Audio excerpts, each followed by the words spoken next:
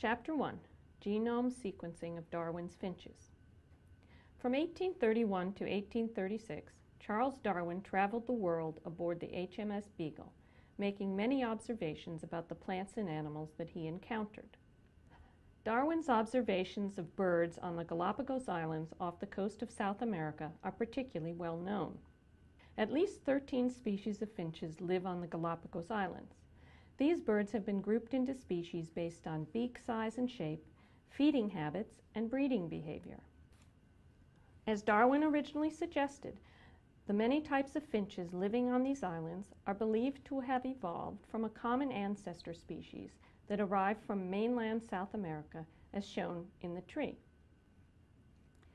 The original population of finches probably arrived in the Galapagos Islands about 2 million years ago and then competed for the limited resources available on each of the islands, which differ in size, habitat, and ecology. As in any population, there were variations in traits and behaviors within the original bird population, so different types of finches were able to colonize and survive in each habitat. Over time, due to natural changes in the genetic material of the finches and selection for those variants that competed most successfully in each environment, further divergence in traits between groups of birds occurred.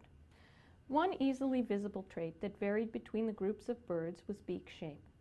The shape of the beak affects the bird's ability to eat certain types of food. For example, birds with blunt beaks could break open large seeds, while those with pointed beaks could capture and eat small insects. Birds with certain types of beaks were more likely to survive and reproduce in specific habitats in which one or another food source predominated. As additional genetic variation occurred, birds with different beak shapes became separate species and no longer interbred. This is an example of natural selection. Organisms diverge into separate species as they become specialized to eat certain food types or thrive in specific habitats.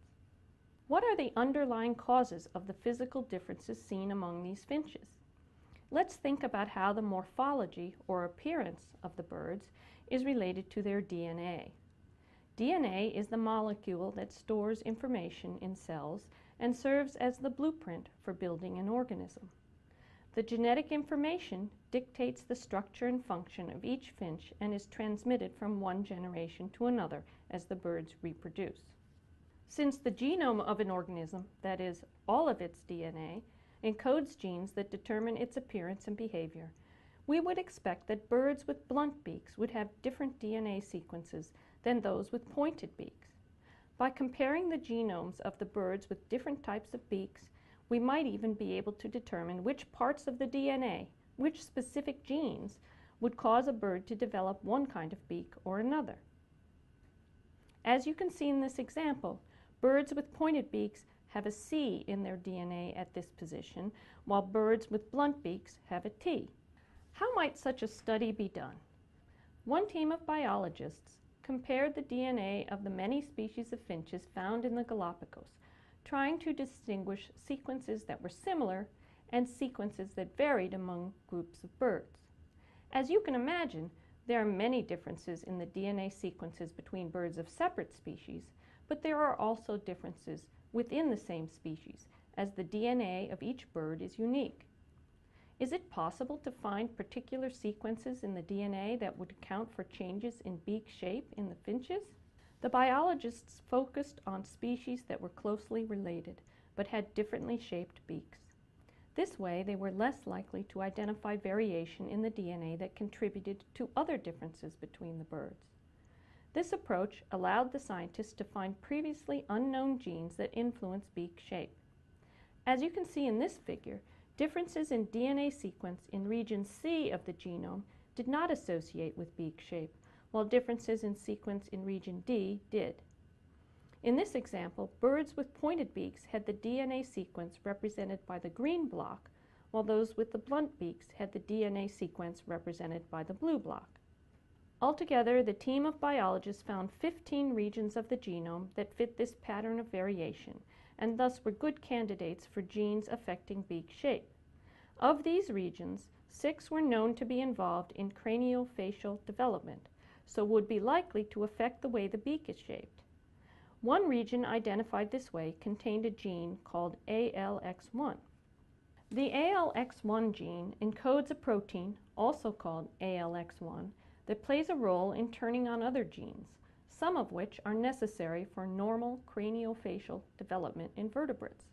Additional research on AXL1 will shed more light on its functions, the genes it controls, and how it may affect beak shape in finches. Researchers have identified at least two other genes as possible contributors to the size and shape of the finch beaks. These include BMP4, a growth factor involved in bone and cartilage development, and HMGA2, which is associated with variation in beak and body size and affects craniofacial structure. Studies continue in an effort to learn exactly how these genes may affect beak shape. Other interesting information has emerged from genome sequencing studies. Comparisons of the genomes of Darwin's finches elucidate differences between morphology-based trees and those based on the DNA sequences of related species. You can see evidence for this when you compare a tree created by traditional methods of species classification with one created from DNA sequences. In the tree on the left, based on morphology, the sharp-beaked ground finches, the species shown in red, occupy one branch, but in the tree derived from DNA sequence data, these sharp-beaked ground finches now appear in different branches of the tree. Genome sequencing can reveal evolutionary relationships at the DNA level that were not evident from observations of appearance and behavior alone. The kind of study outlined here highlights the relationship and interconnectedness of evolution, genomes, and genetics. The ability of organisms to survive in specific environments can be traced to differences in their DNA. We also need to think about evolution, genomes, and genetics across scales, from DNA molecules to the genes that they contain, which are organized into chromosomes and direct the development of the structure of the bird itself. Changes in DNA sequences affect the physical appearance and behavior of organisms. Understanding the relationships between genes, genomes, and organisms is central to understanding genetics and evolution and to understanding modern biology.